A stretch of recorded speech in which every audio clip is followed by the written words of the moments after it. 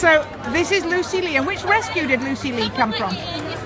Uh, save one soul. Save One Soul. Lucy Lee, and you all got pre-approved to adopt? Yes. And you've been to see the trainers? Yes. And what tips did they have for you?